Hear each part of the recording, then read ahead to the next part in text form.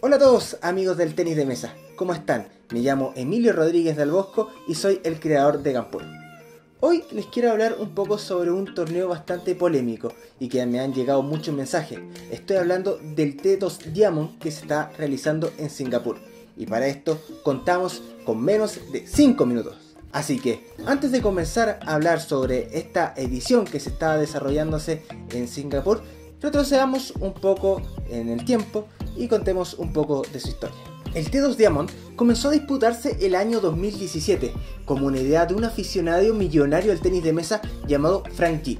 Si bien ustedes no lo conocen, deben por lo menos alguna haber leído acerca de una de sus principales empresas, la cadena de hoteles Sia Masters, auspiciadores de muchos de los circuitos mundiales. Este empresario lleva muchos años jugando eh, de forma recreativa al tenis de mesa y ha visto este deporte como una verdadera joya a pulir. Sabe que tiene un gran potencial. Y en el último tiempo ha querido aportar para mejorar su desarrollo. Una de las ideas que se les ocurrió realizar con este propósito fue crear una liga de tenis de mesa asiática pacífica, en donde cuatro equipos diferentes competirían por un pozo aproximado de 1.5 millones de dólares. Una verdadera locura. Y para que el evento sea atractivo, intentó contratar a los mejores jugadores del mundo, como Timo Boll, Tomokatsu Harimoto y Vladimir Sansonov, además de reconocidos exjugadores que serían la labor de técnico, como Michael Mays o Jorgen Persson. Este nuevo torneo, sumado a los aportes que estaba realizando el millonario empresario, tomó por sorpresa a la ITTF, porque nunca antes había existido un torneo no oficial que había tenido tanta inversión y tanta expectativa en el público.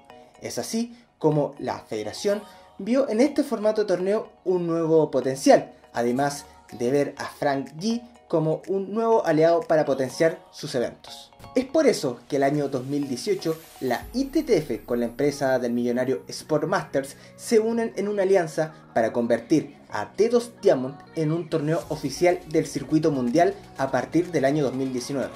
Además, aprovecharon de crear un circuito mundial senior y aprovechar de potenciar a TTX, que en palabras demasiado sencillas es jugar con paleta de palo y con nuevas reglas, nada nuevo.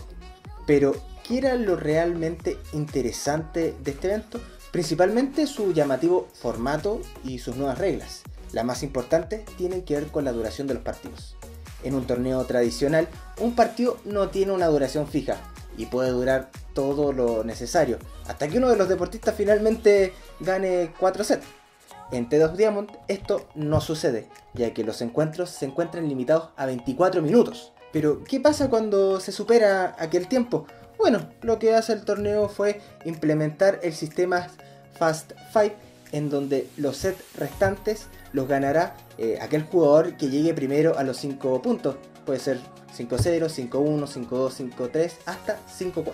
Y es precisamente esta regla la más discutida por los fanáticos del tenis de mesa, ya que consideran que acortar un partido de esta forma es totalmente innecesario y que la poca duración de los sets podría afectar el rendimiento de los jugadores, aumentando la posibilidad de que hayan sorpresas o sencillamente remortes impensados. El gran ejemplo fue la derrota sufrida a mitad de año por Malone frente al jugador de China Taipei Lin Jung-hu. Aquel partido se jugó eh, desde el 2 a 2 bajo el formato del Fast Five y Lin se lo llevó por 4 a 2. En aquella ocasión la gente no le agradó esta aplicación de la regla, aunque reconocieron finalmente eh, que la victoria fue completamente merecida. Pero acá, concretamente, lo que tenemos que entender es por qué la ITTF se le ocurre crear y amparar estas reglas durante estos torneos.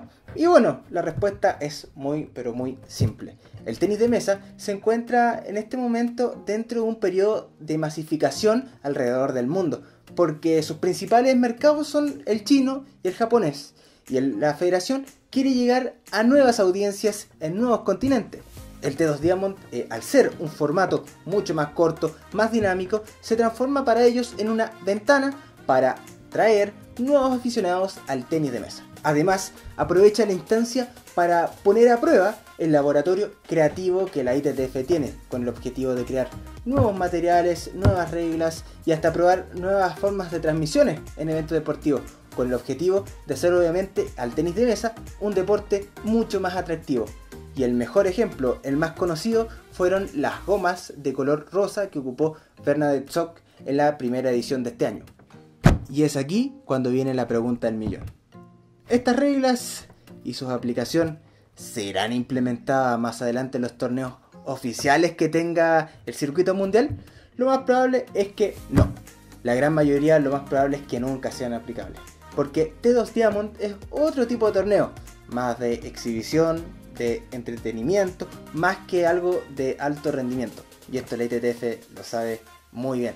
Estas reglas finalmente son aplicadas con este objetivo de crear un torneo más nuevo, más atractivo a personas que no están ligadas al mundo del tenis de mesa. Saben que sería un gran, gran error agregarlo a los circuitos mundiales. ¿Acaso te imaginas una final entre Malone y Dunk en el cual desde el tercer set se esté jugando con Fast Fight? Yo creo que la gente explotaría en enojo, además de los jugadores. Ahora, lo que sí es posible es que puedan generar algunos cambios pequeños, pero principalmente estéticos, como las gomas de nuevos colores o nuevos ángulos de cámara. Es decir, eh, cosas realmente mínimas. Entonces, ya habiendo explicado brevemente en 5 minutos todo lo relacionado al T2 Diamond, ¿cuál es la opinión que tenemos nosotros acá desde Camporu sobre este torneo? Lo que puedo decir es que un torneo bastante bueno, con la capacidad de enganchar a nuevas personas para que vean tenis de mesa, el juego se vuelve más rápido y la regla del Fast Five eh, motiva a los jugadores principalmente a tomar mejores decisiones en momentos de alta tensión. Además, aprovechando que yo estoy estudiando periodismo, tengo un conocimiento más o menos del mundo de las comunicaciones, específicamente ahora al mercado de la televisión. Porque el T2 Diamond es mucho más atractivo de adquirir que un torneo tradicional para un canal de televisión que no acostumbra a ver tenis de mesa. Esto se da principalmente por el tiempo al aire ya que el T2 Diamond tiene una duración mucho más eh, corta y se respeta mucho mejor los tiempos con respecto a los otros torneos. El gran problema de los eventos deportivos es que casi siempre se pasan en el horario y eso se ve traducido finalmente en que el canal eh, se ve obligado en retrasar o cancelar un programa siguiente y siendo objetivo para muchos de ellos hacer esto comercialmente con el tenis de mesa no es para nada un buen negocio. Así que eso sería todo lo que les quería contar en este video sobre el T2 Diamond. Gracias a todos por habernos visto.